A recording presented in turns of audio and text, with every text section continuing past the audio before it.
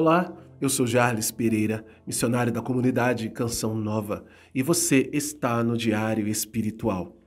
Vamos fazer juntos? Em nome do Pai, e do Filho, e do Espírito Santo. Amém.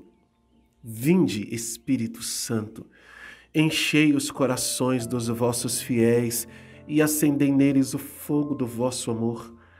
Enviai o vosso Espírito e tudo será criado, e renovareis a face da terra. Oremos.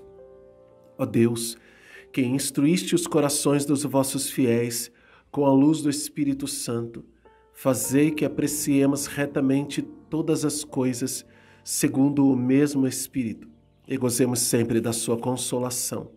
Por Cristo Senhor nosso. Amém.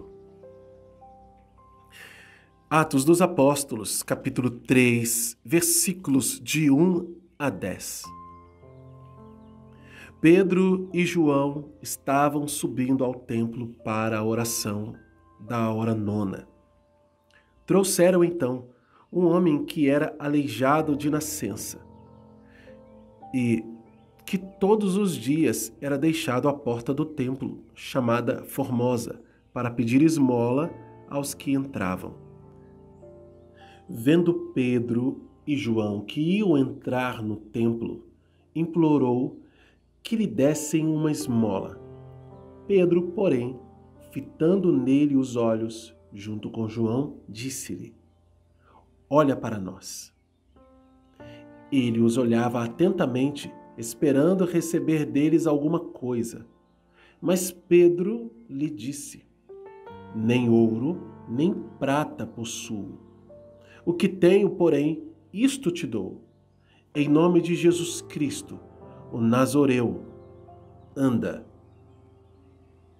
E tomando-o pela mão direita, ergueu-o. No mesmo instante, seus pés e calcanhares se firmaram. De um salto, pôs-se em pé e começou a andar. E entrou com eles no templo, andando, saltando e louvando a Deus. Todo o povo viu-o andar e louvar a Deus. Reconheciam-no, pois era ele quem esmolava, assentado junto à porta formosa do templo.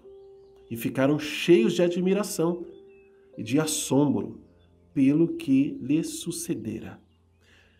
Palavra do Senhor, graças a Deus. O que tenho, te dou.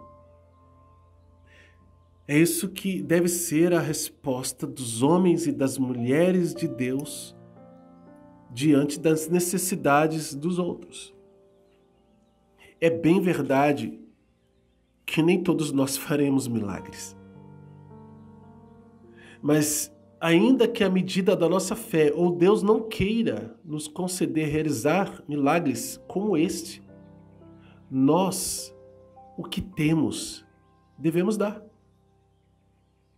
diante de alguém que necessita, às vezes, de uma esmola e você não tem o dinheiro, não tem ouro nem prata, não tem uma moeda, como se diz no Nordeste, não tem um pau para dar na cachorra. quem, quem é nordestino vai entender muito bem esta expressão. A minha esposa é nordestina, então é, é muito fácil né, a gente compreender. Talvez você não tenha o que a pessoa exatamente está pedindo, mas o que você tem, você que é de Deus, você deve dar. O que eu tenho, eu preciso dar.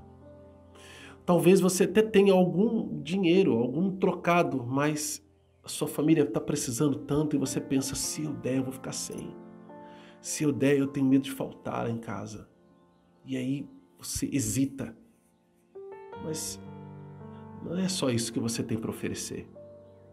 Há momentos sim que você vai precisar tirar de um pouco do que você tem, mesmo sendo pouco, para dar para alguém que está precisando mais. Isso é caridade cristã. Não é aquela que a gente dá do que sobra, como os grandes fariseus e os ricos faziam lá diante de Jesus. E Jesus, vendo aquela viúva, falou: Olha, tá vendo aquela viúva? Deu duas moedinhas, ela deu mais do que todo mundo, porque ela deu tudo que tinha para viver. Eu não estou dizendo que eu e você precisamos fazer isso, Vamos dar tudo que a gente tem para viver.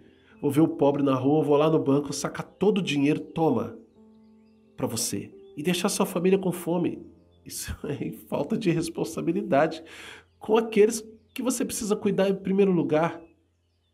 Mas às vezes, para que você ame, vai ter que doer um pouco. Aliás, não tem amor sem dor, né? Então a gente precisa dar um pouco daquilo. Pedro e João eles não tinham. Eles não tinham nada. E eles falaram: não tenho. O que, que eu vou fazer? Eu vou dar o que eu tenho. Deus conferiu a eles a autoridade apostólica para pregar, para curar, para expulsar demônios. Conferiu. E eles deram aquilo que eles tinham.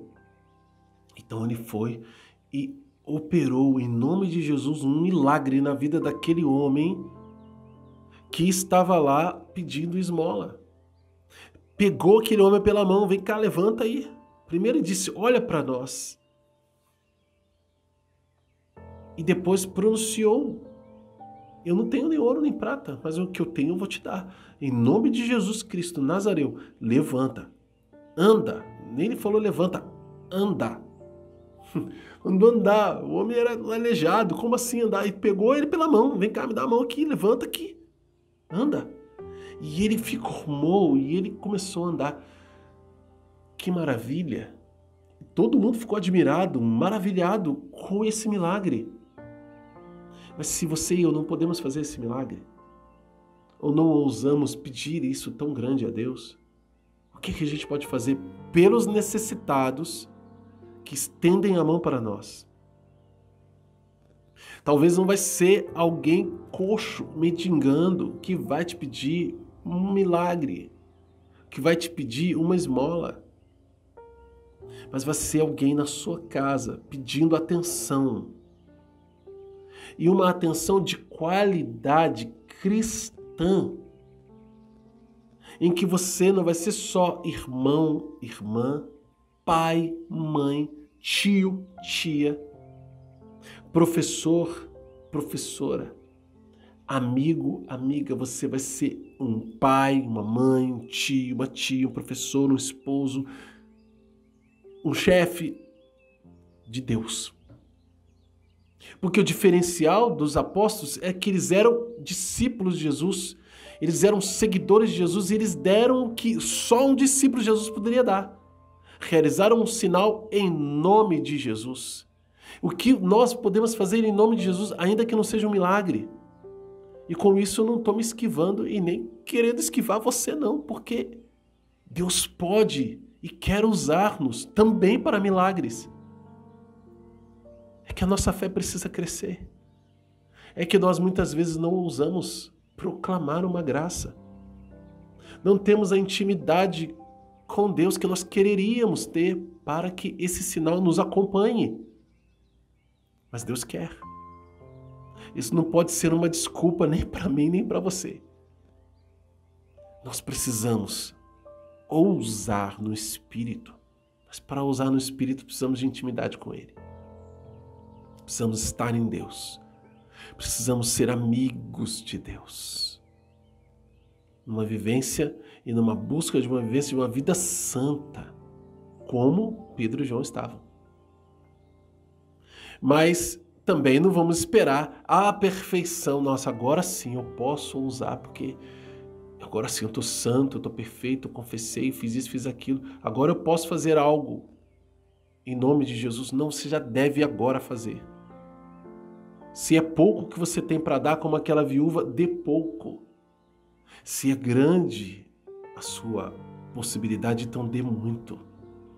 Dê de acordo com a sua possibilidade, mas as pessoas não podem sair da nossa vida com as mãos vazias. Não podem. Eu não posso dar uma esmola, mas o que eu tenho, eu dou. O que você tem que você pode dar? Diante daquela que a pessoa pede, eu só posso rezar pela pessoa, então reza. E reza logo. E reza na hora. Se você não pode parar para rezar, você anda rezando. Vou rezar por você agora. Estou com um compromisso, mas eu, eu não posso parar. Mas eu vou rezar por você. Ave Maria, cheia de. Você entendeu? Pai Nosso. Você, Senhor Jesus, acolhe esse irmão, vem de encontro esse, essa necessidade. É na hora. O que eu posso fazer? A pessoa não pode ir de mãos vazias. Não pode. Eu não sei qual é a sua necessidade agora. Talvez você tenha procurado e encontrado, talvez nem tenha procurado, talvez você tenha sido encontrado por este vídeo, por acaso, mas você parou e você começou a ouvir a palavra. E essa palavra é para você hoje. Em nome de Jesus, anda. Eu não sei o que está precisando andar na tua vida, mas ela precisa andar em nome de Jesus. Se a tua afetividade que está parada, em nome de Jesus, anda. Se é a tua sexualidade que travou no pecado, em nome de Jesus, anda. E anda para onde? Para santidade. Se é uma reconciliação que está travada, em nome de Jesus, anda. E eu estou proclamando, em nome de Jesus, anda. Em nome de Jesus, anda. E se é necessário te pegar pela mão, esse canal está aberto para a gente se falar. Na descrição do vídeo tem como você me encontrar. E eu estou disposto a te ajudar, em nome de Jesus. Vamos anotar no nosso diário? Tem promessa de Deus? Não. Mas tem ordem. Não tem princípio eterno, mas tem ordem. Olha, versículo 4 Pedro, porém, fitando nele os olhos, junto com João, disse-lhe: Olha para nós. Uma ordem direta. É necessário que aquele que necessita preste atenção, que ele realmente saiba de onde vem a graça que vai acontecer na vida dele. Vem de Deus. E os discípulos de Deus fazem questão de dizer: Olha para nós. Para que você saiba quem foi que realizou essa obra na sua vida. Não somos nós mas nós somos embaixadores. E aí vem o versículo 6, que também é ordem. Mas Pedro disse: Nem ouro nem prata possuo, o que tenho, porém, isto te dou. Aí, em nome de Jesus Cristo, Nazoreu anda.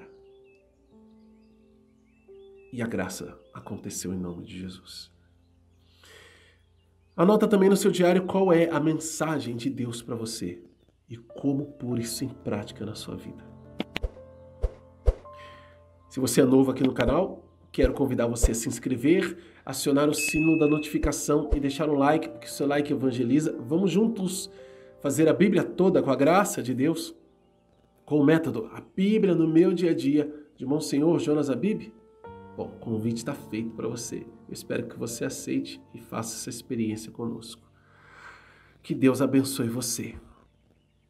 Ó Maria concebida sem pecado, rogai por nós que recorremos a vós.